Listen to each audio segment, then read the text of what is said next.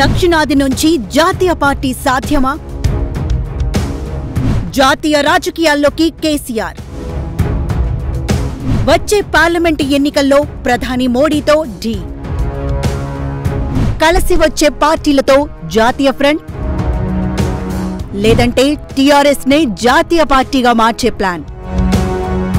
తెలంగాణ ముఖ్యమంత్రి కె. చంద్రశేఖరరావు జాతీయ రాజకీయాల్లోకి వెళ్ళడం దాదాపు ఖాయమైంది. రెండు వేల ఇరవై నాలుగులో జరిగే పార్లమెంటు ఎన్నికల్లో ప్రధాని మోదీని నేరుగా ఢీకొట్టాలని ఆయన ఉవ్విళ్ళూరుతున్నారు ఇరవై ఏడున హైదరాబాద్లో జరిగిన టీఆర్ఎస్ ప్లీనరీలో దీనిపై దాదాపు స్పష్టత ఇచ్చేశారు. జాతీయ స్థాయిలో రాజకీయాలు చేయటానికి తమ వద్ద కావలసినంత డబ్బు ఉన్నదని చెప్పేశారు. త్వరలో పార్టీ నేతలు కార్యకర్తలకు జాతీయ రాజకీయాలపై ప్రత్యేక క్లాసులు కూడా నిర్వహిస్తామని ప్రకటించారు. ఈ సందర్భంగా ఆయన చేసిన ఓ ప్రకటన అందరి దృష్టిని ఆకర్షించింది. రెండు వేల ఇరవై నాలుగు పార్లమెంటు ఎన్నికల్లో బీజేపీని ఢీకొట్టేందుకు ప్రత్యేక ఫ్రంట్ను ఏర్పాటు చేసేందుకు కేసీఆర్ కొంతకాలంగా ప్రయత్నిస్తూనే ఉన్నారు. అందులో భాగంగానే మహారాష్ట్రకు వెళ్ళి ఆ రాష్ట్ర ముఖ్యమంత్రి ఉద్దవ్ ఠాక్రేతో పాటు ఎన్సీపీ సుప్రీం శరద్ పవార్తో కూడా చర్చలు జరిపారు. అదే ఊపులో జార్ఖండ్ వెళ్ళి ఆ రాష్ట్ర సీఎం షిబు సోరెన్తోనూ ఫ్రంట్పై చర్చలు జరిపారు. త్వరలో ఇలాంటి యాత్రలు మరికొన్ని చేపట్టే అవకాశం ఉంది. బీజేపీయేతర కాంగ్రెసేతర పార్టీలను ఒక్క వేదికపైకి తేవాలన్నదే కేసీఆర్ ప్లాన్గా కనిపిస్తోంది. కానీ అది అంత తేలిక కాదని రాజకీయ పండితుల అభిప్రాయం. ఎప్పుడైనా ప్రాంతీయ పార్టీలకు వారి పరిధిలోని అంశాలే ఎన్నికల ప్రాధాన్యతలు అవుతాయి. అలాంటప్పుడు ప్రత్యేక ఫ్రంట్గా ఏర్పడే కన్నా కేంద్రంలో అధికారంలోకి వచ్చే అవకాశం ఉన్న జాతీయ పార్టీలతో జట్టు కట్టడానికే ఎక్కువ ప్రాధాన్యమిస్తాయి. అయితే జాతీయ ఫ్రంట్ సాధ్యం కాకపోతే కేసీఆర్ వద్ద ప్లాన్ బి కూడా సిద్ధంగా ఉందని ఆయన సన్నిహితులు అంటున్నారు.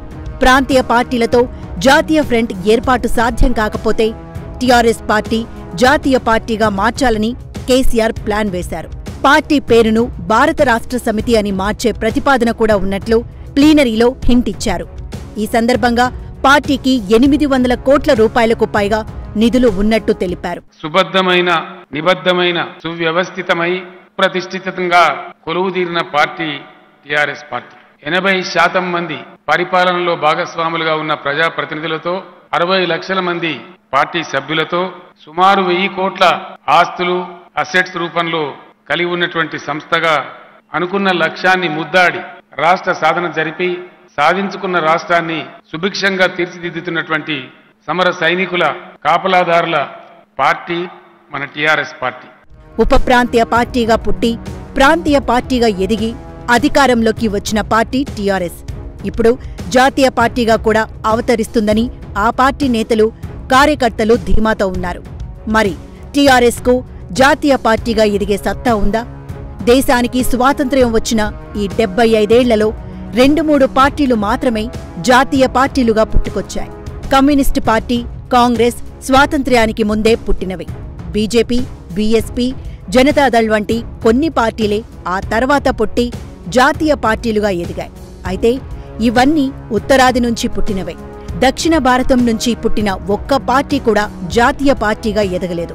ఇందుకు కారణం ఉత్తరాదిలో ఎంపీ స్థానాలు ఎక్కువ ఉండటం నాలుగైదు పెద్ద రాష్ట్రాలు ఒకే భాష మాట్లాడటం. దక్షిణాదిలో రాష్ట్రాలన్నీ భాషా ప్రాతిపదికన ఏర్పడినవే. అందుకే ఇక్కడ పుట్టే పార్టీలు ఆ రాష్ట్రానికే పరిమితమై ఉంటాయి. ఇప్పుడు టీఆర్ఎస్ జాతీయ పార్టీగా ఎదగాలన్న ఆలోచన అసాధారణమైంది. యూపీ బీహార్ బెంగాల్ పంజాబ్ మహారాష్ట్ర వంటి చోట్ల జాతీయ పార్టీలతో పాటు ప్రాంతీయ పార్టీలు కూడా బలంగా ఉన్నాయి. ఇప్పుడు టీఆర్ఎస్కు అక్కడ స్కోప్ ఉందా అనేది అంతుపట్టని ప్రశ్న.